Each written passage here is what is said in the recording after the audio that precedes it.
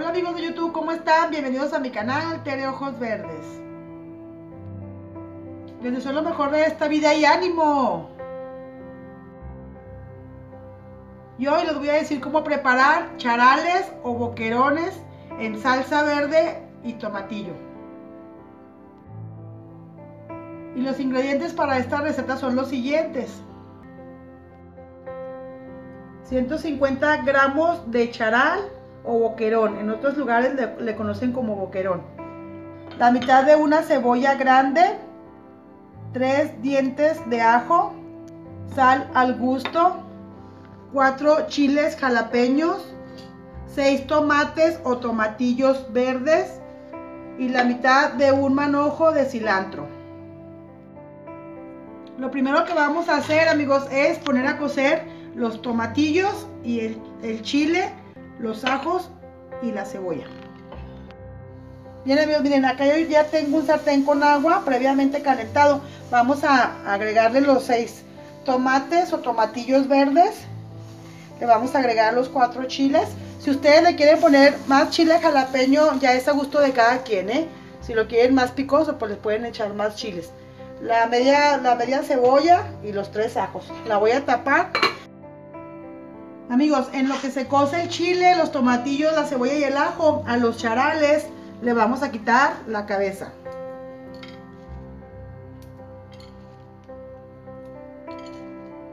La cabeza también la pueden guardar, amigos, para después molerla y hacer tortas de, charal, pero en pipián. Eso ya después ustedes lo pueden usar, ¿eh? Igual si le quieren dejar la cabecita, no hay ningún problema. Bien, amigos, miren, vamos a ver cómo van nuestros chiles. Miren, aquí ya los tomatillos ya reventaron, ya los chiles ya están cocidos, la cebolla también. Le voy a apagar, voy a esperar a que se enfríen y ahorita los voy a moler con cilantro.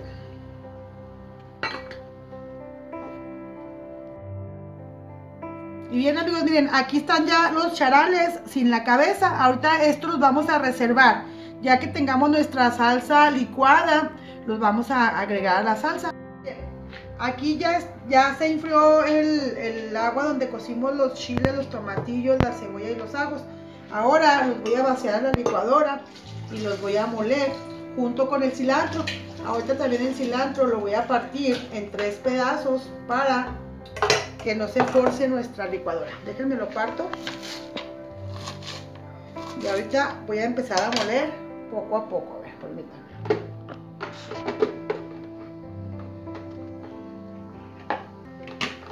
También le vamos a agregar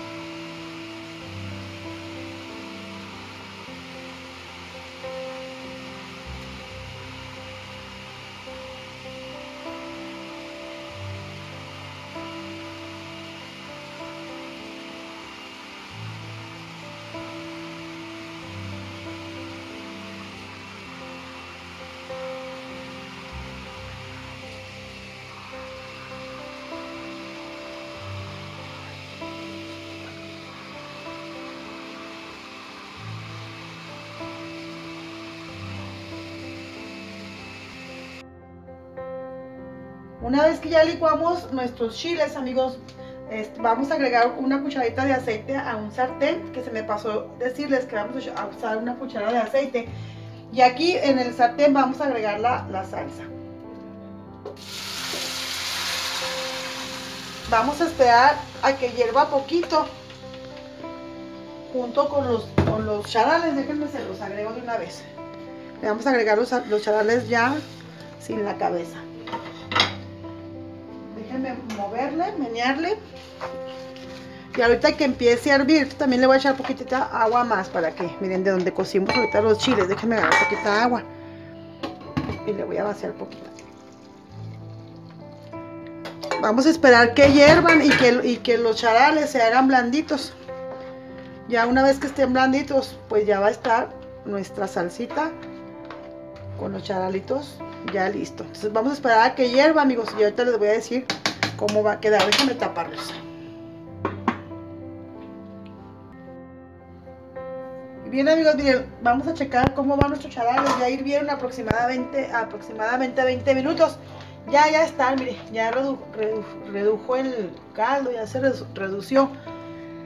Y ahora lo voy a servir, ahorita lo voy a acompañar también con una sopita de arroz que también preparé. Miren, vean qué delicia amigos. Vean, ay Dios de mi vida. Vean qué ricos amigos. Ya le voy a apagar también acá el sartén, ¿eh?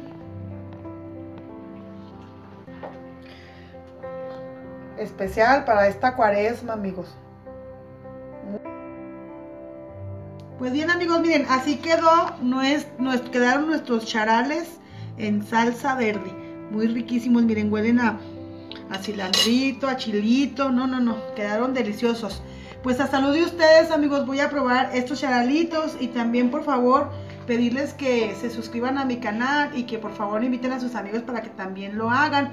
Y una cosa amigos, miren, si ustedes quieren que haga, haga alguna receta de cuaresma como esta de charalitos, por favor déjenmela en la caja de los comentarios.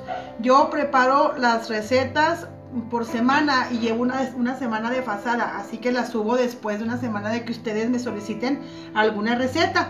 Entonces, pues cuando me las pidan, no se me, no se me desesperen, yo estaré con, este, consintiéndolos con las recetas que ustedes pidan, pero una semana después. Otra cosa, amigos, quiero también mandarles saludos por allá a un suscriptor que tengo de Gómez Palacio Durango, que se llama Américo Ibarra de la Mora. Le mando saludos, saludos. Aquí está esta receta, espero que a ti, a tu familia y a todos mis suscriptores les encante. Pues bien, a salud de ustedes voy a probar este, estos ricos charalitos, amigos, y una arrocito que hice rojo.